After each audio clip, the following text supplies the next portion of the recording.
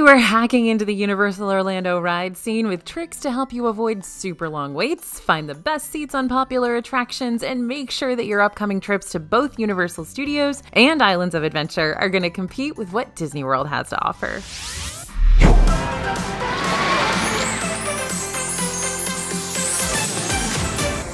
Hey everybody, it's AJ for Disney Food Blog. So, Universal Studios Florida and Universal Islands of Adventure are two parks with a whole lot of thrills. From the coasters to the 3D screen rides to the attractions that make you go, I'm not sure what that was, but I think I love it. We're gonna make sure you can knock out everything you wanna do during your next trip. Efficiency, ease, and some fun little bonus secrets along the way. That's what we've got in store for you today. If you're ready to learn even more about Universal Orlando, be sure to scan the QR code you see on the screen right now or head to disneyfoodblog.com slash universal after this, and we're going to send you our latest Universal quick guide filled with food recommendations, sample itineraries, average ride wait times, and more. Okay, you ready to dive into our hacks for Universal? Here we go. Stay alert. Now, this is a very, very, very cool tip. This is going to sound a whole lot like one of our Disney videos because here I am again telling you to download the free park app before you visit. But that's not the hack. The hack is much better than that. Nope, you're probably not going to be on your Universal app quite as much as you will be on your Disney one, but there are a few key things on the Uni app that are going to make your date way more smooth. And you're going to want to make sure you know how to use said key things before you go. One of my favorite features that this app has that we use during our last Universal visit all the time is the wait time alert feature. If there's a ride you want to get in line for, but the wait is too steep for your liking, you can ask the Universal app to alert you once the wait times drop down to a specific number. Just tap on the wait times button on the home menu, select the ride you want to keep an eye on, and scroll down until you see the wait time alert option. You're going to have to enable notifications for the app before this feature is going to work for you, but once you do that, you can set a wait time number that you would be willing to wait for and ask the app to alert you once the ride reaches that wait time IRL. Once the ride time actually drops down to that number, the app will ping you through your push notifications so you don't have to constantly be checking your phone and keeping tabs on the wait times yourself. Now, speaking of the app, it's time to train to be a villain. So, the new Villain Con Minion Blast attraction is not your typical theme park ride. You're going to be standing on a moving conveyor belt and shooting a bunch of stuff. But the whole standing conveyor belt element isn't the only unique part about this new attraction. The Universal Orlando Resort app can be used on Villain Con to unlock enhanced gameplay. All you'll need to do is tap your phone on your blaster. This entirely free enhancement is going to allow you to embark on special missions within the attraction, unlock evil perks and extra powerful blasts, and earn digital collectibles. And here's the really cool part if you sync your app to the attraction, it'll remember your previous scores forever. The more you score, the more you can level up. And leveling up means a new challenge from one of the Vicious Six villains, meaning you can have a different experience every time you go. You're going to need to know your two express options. We're going to be sprinkling in express pass tips throughout the course of this video, so let's go ahead and get a clear understanding of what that is. Universal Express passes are like Disney Genie Plus or Disney Fast Pass in the way that they're a premium line bypassing service for the rides. But these passes by no means work like Genie Plus. They are so much easier. For starters, once you buy a pass, you can use it to get on rides at any time during the day. So you don't have to reserve something like a lightning lane every two hours to stretch your dollar here. You stretch your dollar just by using it and using it well. However, Express Passes cost way more than Genie Plus, and how much you pay all depends on what Express option you choose. The standard Universal Express Pass allows guests to skip the lines one time per participating ride and ranges from 90 to $350 per person depending on the season. The Universal Express Unlimited option, which ranges from 100 to $380 per person, allows unlimited skips of the line at participating rides. Now, Express Passes act as standalone tickets, meaning you'll have to purchase them for each day that you want to use them. And that's both a good and a bad thing. It's good because if you're visiting the parks across multiple days but you don't want to pay for an Express Pass all trip long, you can pick and choose which days you want to get it for. But because these Express Passes work more like how tickets work, you're going to be paying nearly as much to use Express on each individual day as you'll be paying for the park tickets themselves. Unless there's a deal going on via the Universal website, there's no bundle price that you can fall back on to help you cut back on your Express Pass expense, and it is a hefty one.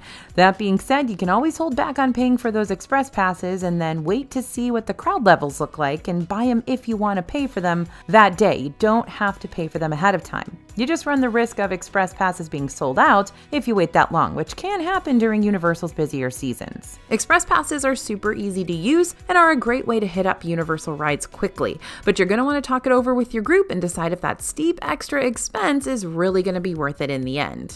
Now, here's a weird recommendation, but we're going to go with it. Buy when the price is high. Unfortunately, Genie Plus and Express Passes have more things in common when it comes to surge pricing.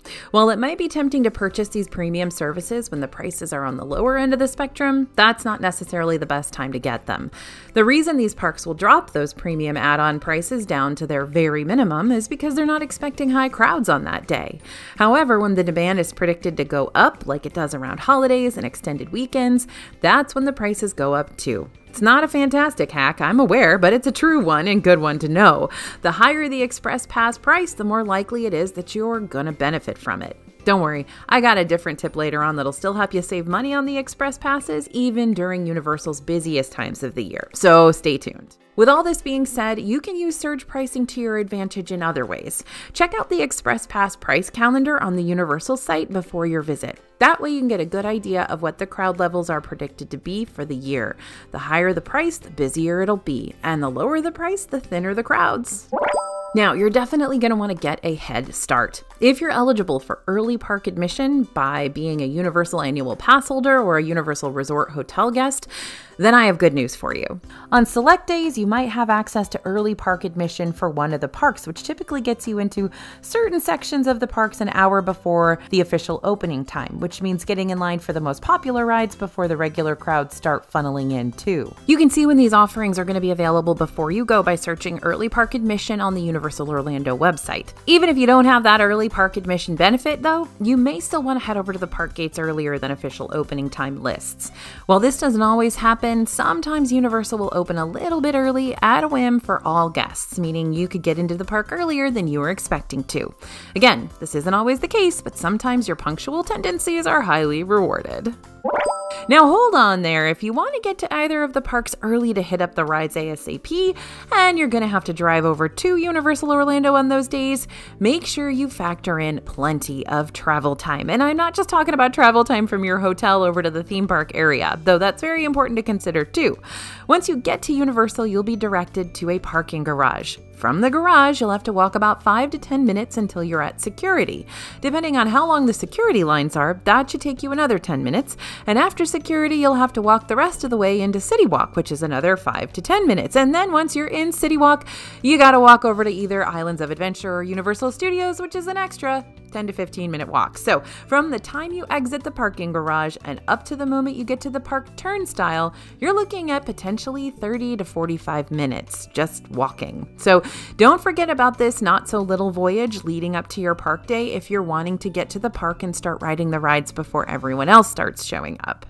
Lots and lots of the attractions at both Universal Studios and Islands of Adventure present their stories through 3D screen experiences, along with other ride elements, sometimes combined.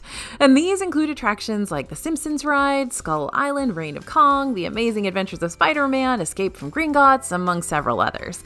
Even though these rides are fun, well, most of them are fun, they have the potential to make you kind of woozy. But guess what? Single doses of medication are available for free at Universal's first aid locations if you need them. At Universal Studios, you can find first aid at family services at the front of the park, and at Islands of Adventure, you'll find first aid stations inside the guest services lobby to the right of the main entrance turnstiles. So, if you're feeling a little queasy, maybe anticipating some motion sickness, go get yourself taken care of. Or you can just plan ahead and pack your preferred over the counter meds in your park bag before you go. More anti nausea tips coming your way, and more to come later on the video, too. Minions Mayhem over on the Universal Studios side isn't a super intense ride, but the combined screen and seat movement can be a lot for some heads and tummies to handle.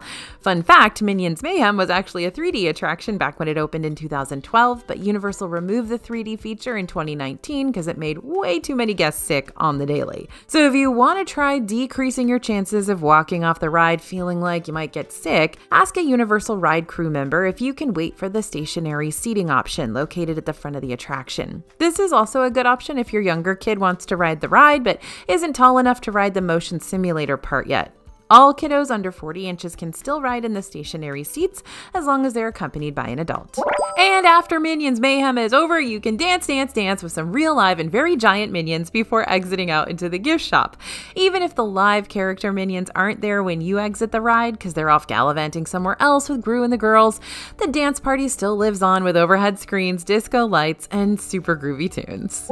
All right, are you ready for that Express Pass tip? You can unlock free express passes. I'm being dead serious. You can skip over that $100 plus expense per person for express passes, and it all has to do with where you decide to stay during your vacation. If you're planning on staying at a Universal Resort hotel, you've got four resort tiers to choose from value, prime value, preferred, and premier. Now, you may immediately lean towards one of the least expensive options like Cabana Bay, Aventura, or one of the two endless summer resorts, which fall under the prime value and value categories. But guests of Universal Orlando's premier tier resorts, like the Hard Rock Hotel, the Royal Pacific, and the Portofino Bay, are given complimentary use of the Unlimited Express Pass as part of their stay, like every single day. So this might be an option well worth considering just for that huge upper hand alone. On those busy days, you can save $380 per person for one day in the park, and that might definitely make it worth it to stay at a hotel. All right, here's how to avoid the pain of Hagrid's motorbike adventure. Play rock, paper, scissors. Now, Hagrid's motorbike adventure is probably one of the most popular rides at Universal. It might be the most popular ride at Universal. And for each ride, one person will sit on a motorbike and one person will sit in the sidecar. So if multiple people in your group want to call dibs on motorbike, then you might have a bit of a squabble on your hands.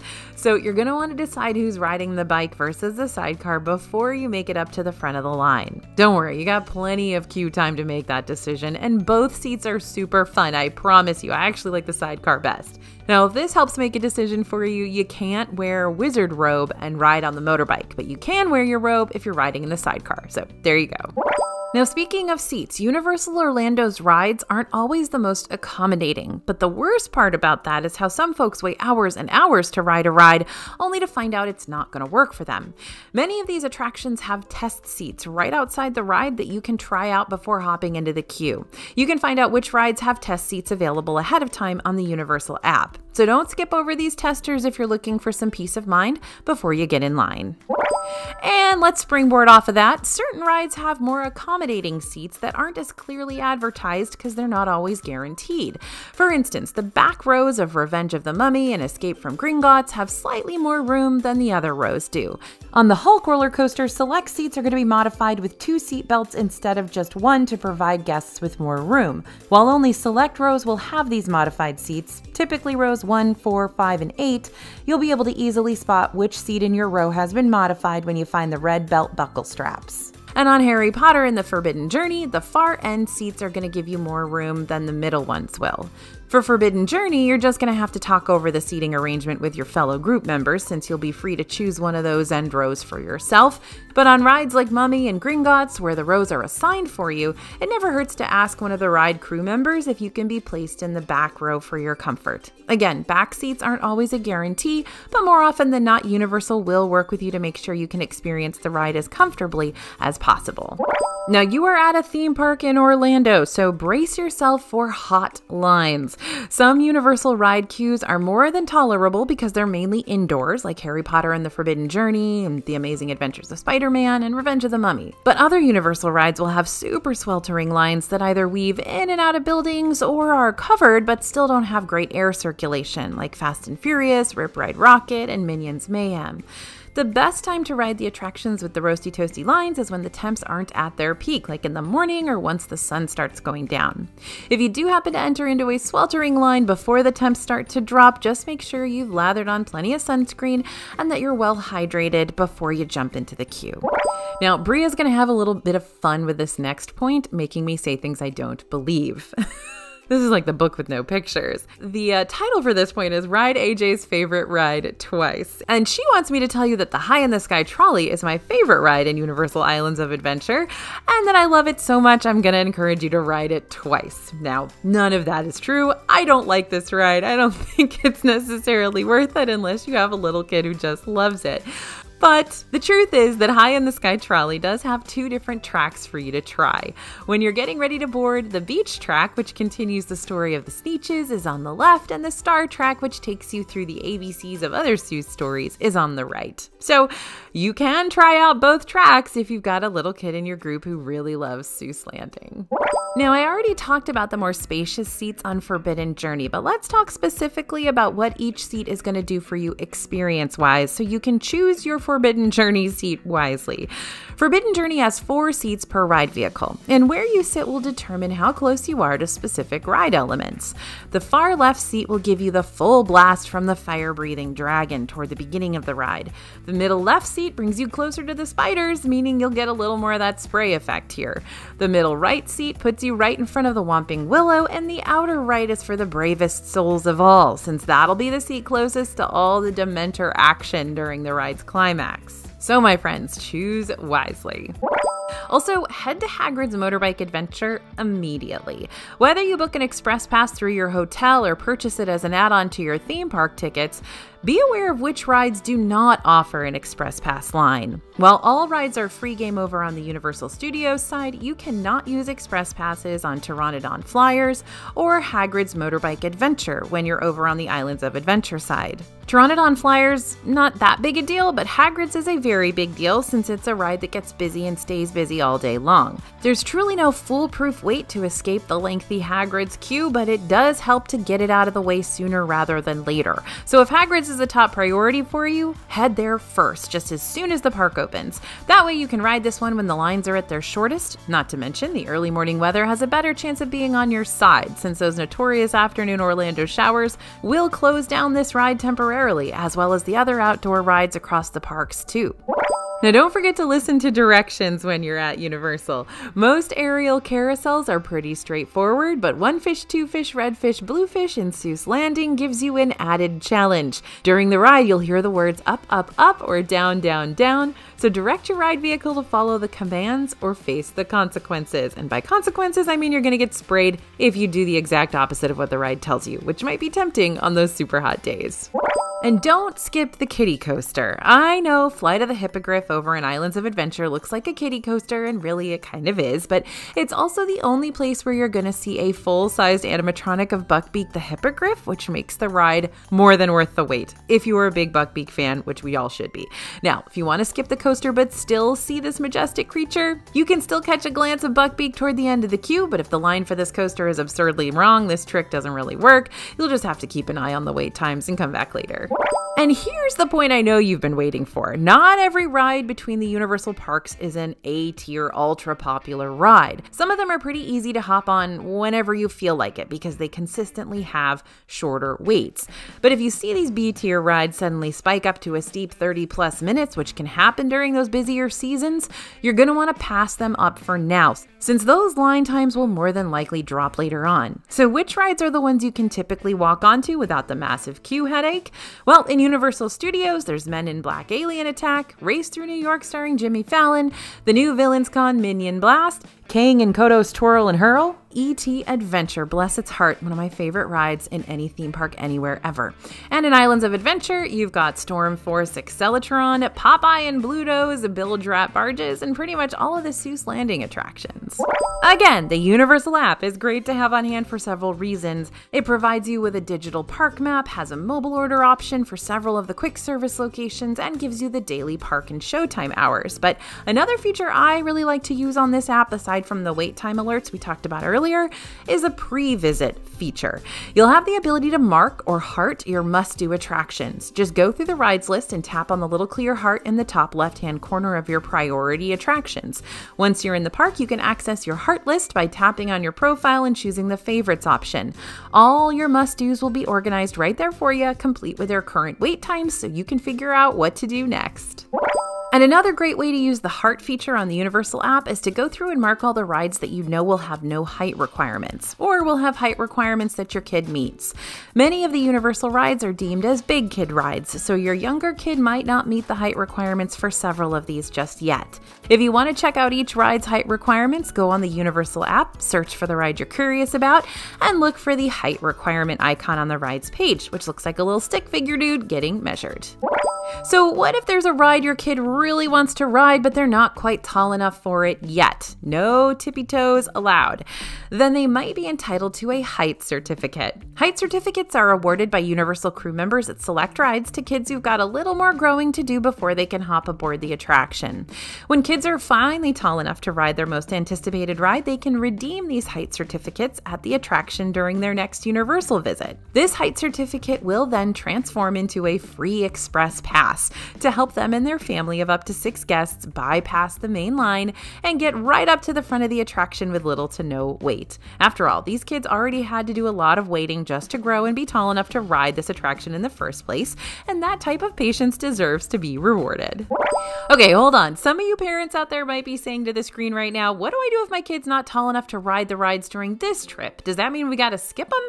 No, you can use Rider Swap. Rider Swap is made for families that have members who can't or don't want to ride an attraction, but who also can't be left alone while everyone else goes to experience the ride. Universal provides air conditioned rooms for guardians and their children to wait in, so your whole party will wait in line together. One guardian will stay back in the Rider Swap room with the non riders, and everyone else will ride the attraction.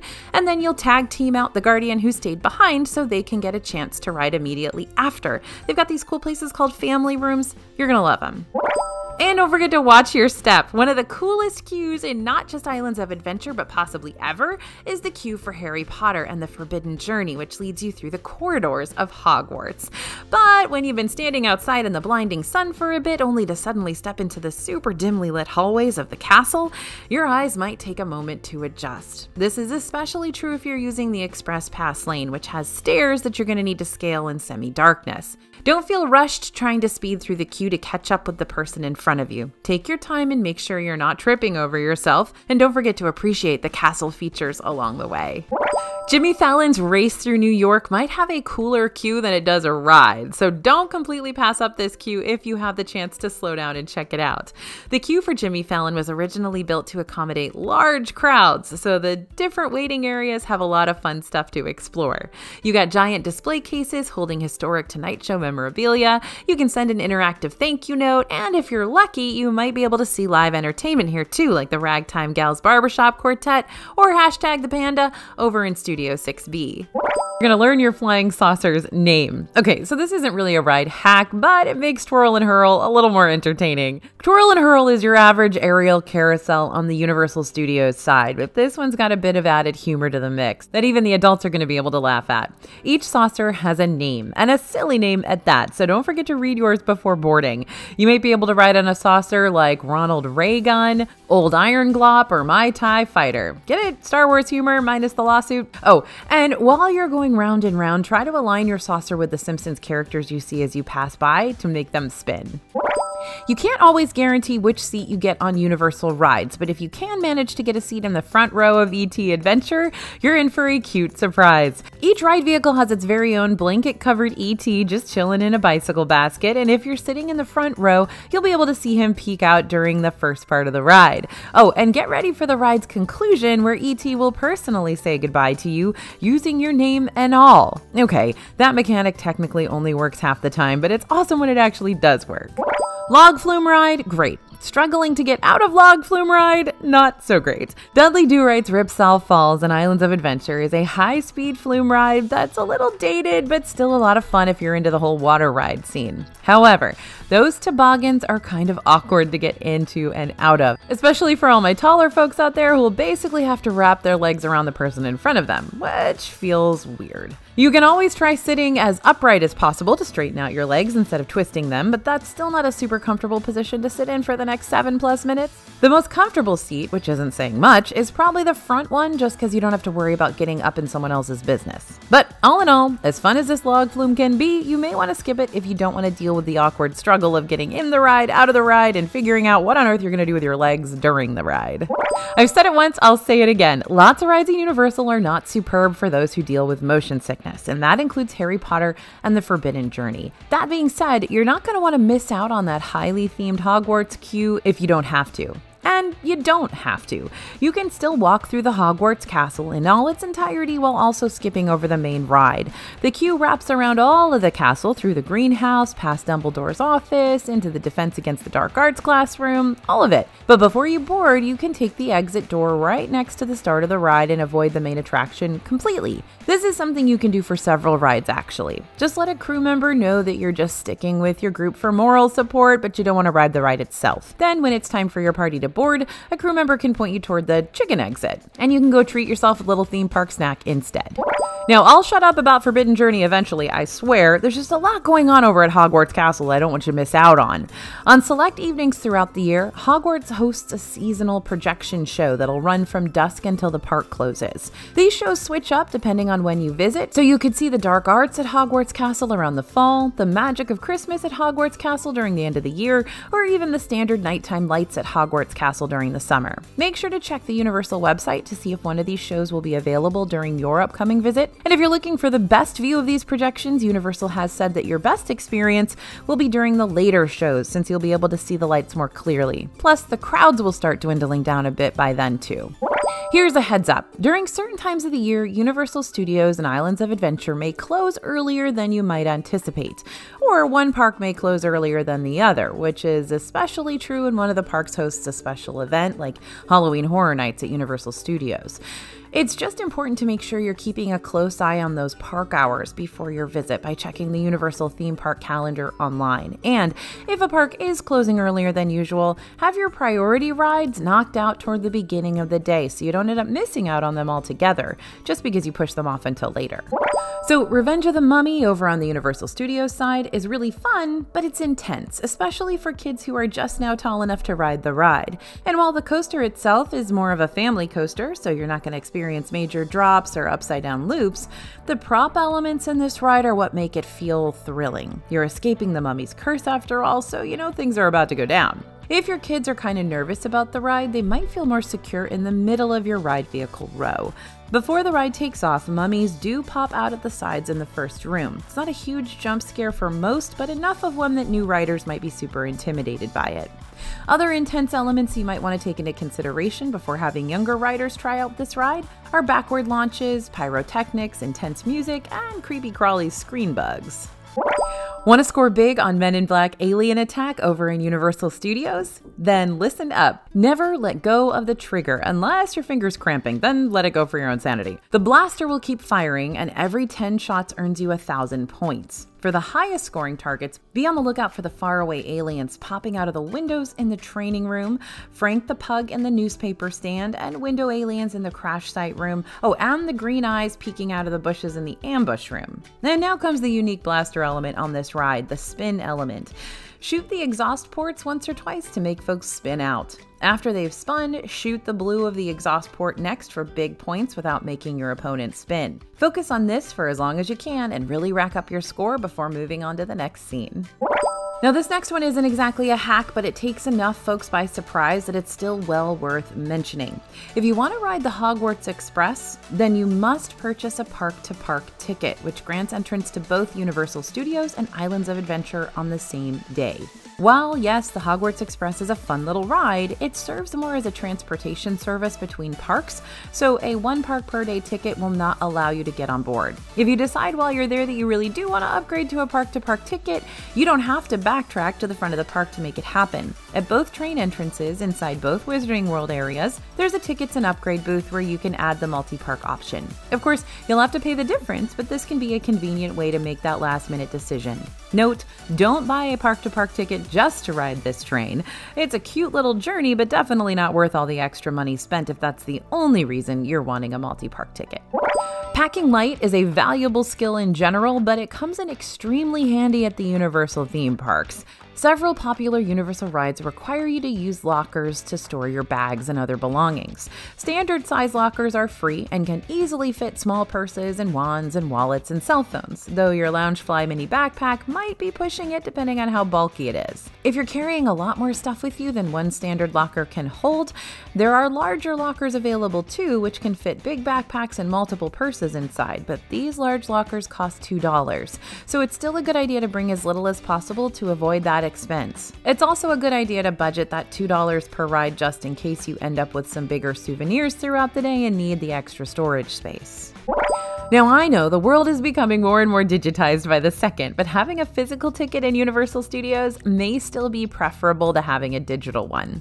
After you purchase your theme park tickets on the Universal website, you can either print them off, have them delivered to your home, pick them up at the will call kiosk on the day of your visit, or have the QR code sent to your email so you can scan in via phone. While the QR code option does mean you don't have to worry about carrying around a physical card copy all day, which is nice, many of the digital tickets do not work on the Universal Ride lockers. So if you can't get a locker to open, you're going to have to ask a nearby Universal crew member for a physical temporary locker card that you'll return after you retrieve all your stuff.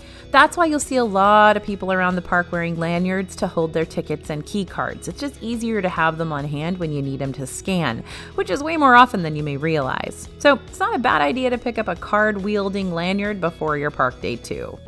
So, this one can be a surprise. There's a no loose items policy for Universal's most intense coasters, including the Incredible Hulk, Hollywood Rip Ride Rockit, and Jurassic World Velocicoaster. While lockers are available for many rides, but will still allow you to keep your phone with you just as long as it's secured in your pocket during the duration of the attraction, these particular coasters aren't going to let you ride if you're still holding onto your phone or anything else. In fact, you must walk through a security screening with metal detectors and scanning wands before you're allowed to board the ride.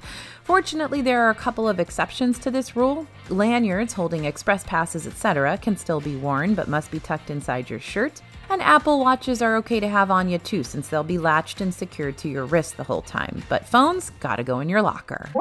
After the pre show room leading up to the Simpsons ride, you'll have the option to head toward the front row or back row of the ride vehicle. If you have smaller kids in your party, head toward the front row. If you end up in the back and taller guests are in front of you, it might be harder for those smaller guests to see what's going on. One important note about Simpsons, though, is that this ride is definitely a stomach turner for all you motion sick folks out there. If you start to feel woozy, close your eyes, and if you have the choice, bypass this ride altogether because it's definitely not worth doing if it's going to make you sick all day.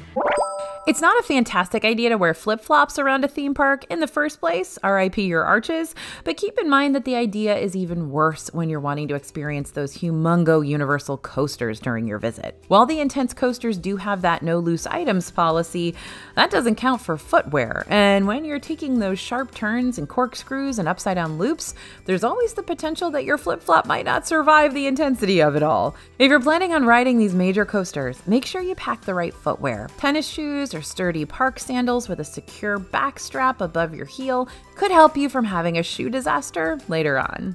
One of the reasons Rip Ride Rockit and Universal Studios is so unique is that you can choose your ride soundtrack. It's a quick decision, but you'll be able to choose your song right before you start making it up the lift hill. But if you know the secret ride hack, you'll have even more song options to choose from. Yep, there's a secret song list. When you get in your seat, hold down the logo on the Hollywood Rip Ride Rockit screen for about 5 to 10 seconds. This will open up a secret playlist. From here, you'll be able to enter a three digit code for one of those ultra hidden songs. There's a lot more hidden songs than you might expect, but just to name some of the more popular selections, there's Crocodile Rock by Elton John, that's number 104, Freebird by Lynyrd Skynyrd, that's 112, I Want You Back by the Jackson 5, that's 302, and of course our personal favorite, Rainbow Connection by the Kermit the Frog, number 902. Okay, this is a tip for pretty much any thrill ride, not just the Universal specific ones, but it's still good to know before you get on any of those heavy duty coasters. Where you sit will determine how rough your ride is going to be. If you're looking for a smoother coaster ride, sit toward the front. But if you're wanting one that cranks up the intensity, sit toward the back, at least if it's a forward motion coaster. Now, the back of the coaster always gets the brunt of the acceleration after the first half of the ride vehicle goes speeding down the track, causing the ride to feel faster but also a lot bumpier. So, if you are in a forward motion coaster and not a backward motion coaster, then sitting in the front is going to be a smoother ride. Okay, for this one, we're stepping outside of the Universal Studios and Islands of Adventure bubble for just a second so I can fill you in on how riding rides at Universal's Volcano Bay works, because those work very differently from your average theme park rides in the best possible way. Everybody, meet the Tapu Tapu bands. Tapu Tapu is an interactive bracelet that you'll be given when you enter the park, which is about the size of an Apple Watch or a Disney Magic Band Plus. Tapu Tapu is free, but it's also a required tool that you'll need to access the rides and slides. You'll give it back when you leave the water park at the end of the day. So here's how you use it.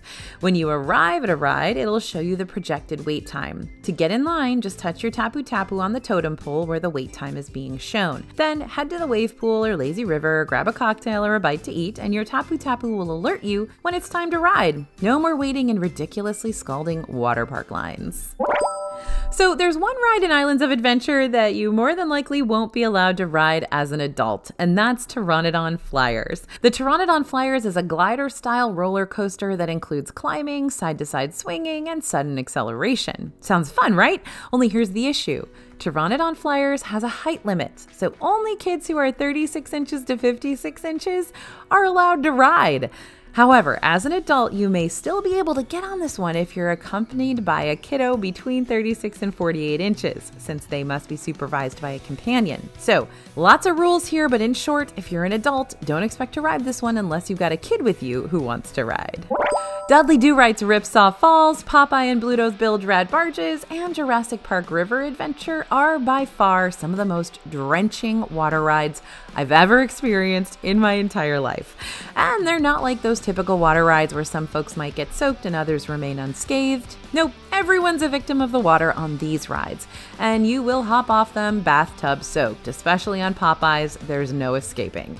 This can be fantastic for those super hot days in the park when you're looking to cool down anyway, but not so great if you're not wanting to walk around soggy for hours or you're about to go to a sit down meal and you don't want to be dripping and freezing the entire time. Islands of Adventure does have some full body dryers stationed in Toon Lagoon and Jurassic Park, but they cost a few dollars extra to use, like around $8. However, you don't have to take turns using the dryer if you don't want to. If everyone's cool with getting a little snug for just a few minutes, multiple people can fit into these full body dryers all at once, just so you don't have to keep spending $8 for every single person. Okay, so no, let me really, really emphasize this. Islands of Adventure's water rides will leave you sopping wet. If the full body dryers don't completely get the job done, or you just don't want to spend $8 to dry off, it's not a bad idea to pack an extra pair of dry clothes in your park bag so you can change into something a little less soggy later on, especially socks. You know that Bria thinks that soggy socks are the worst. You'll also want to pack Ziploc baggies and reusable laundry bags to contain all your wet stuff and help keep the rest of the items in your park bag dry. Depending on which direction you're traveling via the Hogwarts Express, you're going to experience a different story. So, if you've got the park to park ticket, you might want to try riding this train both directions if you have time. When you're traveling to Diagon Alley, you'll ride past Centaurs and the Night Bus and the Weasley twins promoting their new joke shop. But when you're traveling to Hogsmeade, you'll ride past Hagrid on his flying motorbike and experience a slight Dementor encounter, but nothing that you're going to have to sweat over too much. Before you board the Hogwarts Express, track down the red phone booth outside King's Cross Station. At first, you might think this is just a regular old prop booth that you can take pictures with, but if you dial the number 62442, Brasil. Which is magic, you'll be able to contact a witch who works for the Ministry of Magic. Hmm, then again, maybe you shouldn't call this number. I don't know if you're ready for all that ministry responsibility yet. Are you? So while Disney World only has a few single rider lines on property, Universal has several more that you can take advantage of to help you possibly bypass the thick of the ride wait times without having to pay for an express pass to do it. You're just going to have to be willing to split up your party if you want to try this route. You can find single rider lines at popular attractions like Escape from Gringotts, Rip Ride Rockit, Hagrid's Motorbike Adventure, and Velocicoaster, but there are others as well. While single rider isn't a foolproof solution for skipping over those massive lines, it might be worth trying out if the regular queue is getting really long and you're hoping to find a potential shortcut to the front.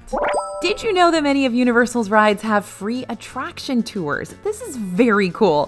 Forbidden Journey has a castle tour, The Hulk has a gamma tour, Revenge of the Mummy has a production tour, and E.T. has a forest tour. So many tours! Typically, when you take one of these tours, a Universal team member will guide you through the attraction's queue and talk about the little known facts and history behind the ride. Then, after you finish the tour, you'll almost always be asked if you want to go ahead and ride. While attraction tours aren't always a guarantee, you can check and see if they'll be available on the day of your visit by asking a team member at the front of the attraction. Definitely a cool hidden secret.